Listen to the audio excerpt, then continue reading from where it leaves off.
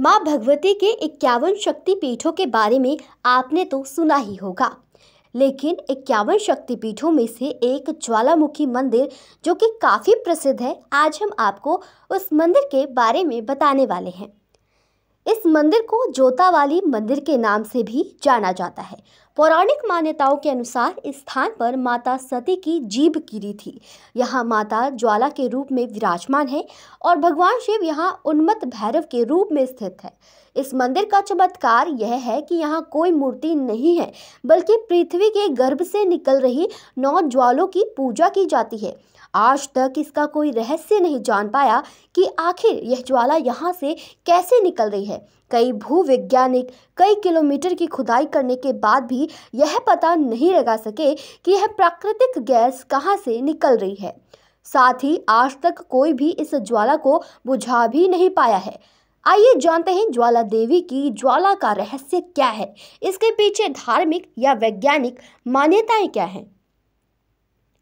ज्वाला देवी मंदिर में बिना तेल और बाती के नौ ज्वालाएँ जल रही है, जो माता के नौ स्वरूपों का प्रतीक है।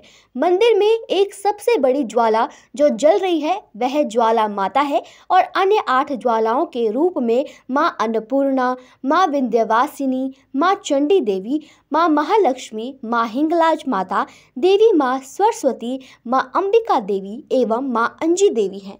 माँ ज्वाला देवी के मंदिर का निर्माण सबसे पहले राजा भूमिचंद ने करवाया था।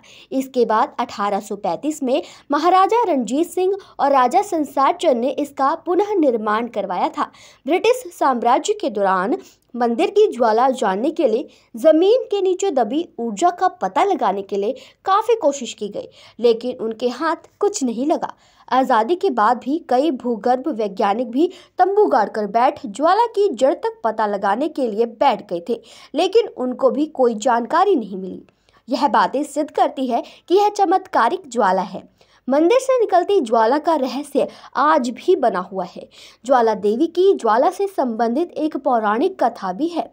कथा के अनुसार भक्त गोरखनाथ माँ ज्वाला देवी के बहुत बड़े भक्त थे और हमेशा भक्ति में लीन रहते थे। एक बार भूख लगने पर गोरखनाथ ने माँ से कहा कि, माँ, आप पानी गर्म करके रखें, तब तक मैं भिक्षा मांग कर आता हूँ। जब गोरखनाथ भिक्षा लेने गए तो वापस लौटकर नहीं आए।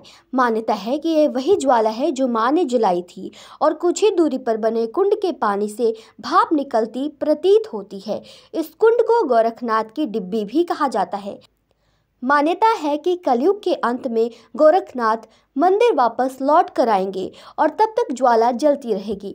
बादशाह अकबर ने मंदिर की ज्वाला के बारे में सुना तो उसने अपनी सेना बुलाकर इस ज्वाला को बुझाने के लिए कई बार कोशिश की, लेकिन कोई भी मंदिर की ज्वालाओं को बुझा नहीं पाया। फिर उसने नहर तक की खुदाई करवाने की कोशिश की, लेकिन नाकामयाब रहा। नहर मंदिर की बाई ओर देखने को मिल जाएगी। बाद में वह माँ के इस चमत्कार को देखकर नतमस्तक हो गया और सवा मन के सोने का छत्र चढ़ाने पहुँचा। लेकिन माता ने उसे स्वीकार नहीं किया और वह गिरकर किसी अन्य धातु में बदल गया। यह धातु कौन सा है, इसका आज तक किसी को पता नहीं चला। ज्वाला माता के मंदिर को लेकर ध्यानु भगत की कहानी भी प्रसिद्ध है। कथा के अनुसार ध्यानु भक्त ने अपनी भक्ति सिद्ध करने के लिए अपना शीश माँ को चढ़ा दिया था। मान्यता है कि जो भी भक्त सच्चे मन से माँ से जो भी माँगता है, उसकी हर इच्छा पूरी होती है। कोई भी माँ के दरबार से खाली नहीं जाता। माँ ज्वाला देवी के रहस्य जानकर आपको कैसा लगा, हमें कमेंट करके ज़रूर बताएँ और ऐसे ही देखते रहिए एम लुधियाना। धन्यवाद।